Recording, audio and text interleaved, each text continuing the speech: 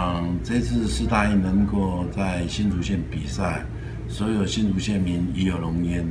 而且我们拥有那么好的足球场，我想我们不要荒废它。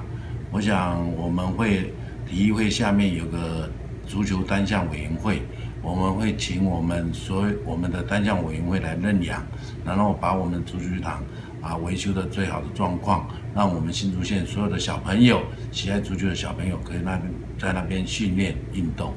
目前针对我们体育会向下的五十几个单项委员会哈，还有包含我们新竹县的这些体育退役的下来的选手，哦，我们现在尤其那个理事长啊，也是积极的在争取运动的一个场地跟平台，啊，我们有跟那个环保局啊来沟通，是不是就是四星球场跟我们那个新农路啊头前溪到高速公路这个阶段。啊，还有我们第二体育场就是四大运的足球场地，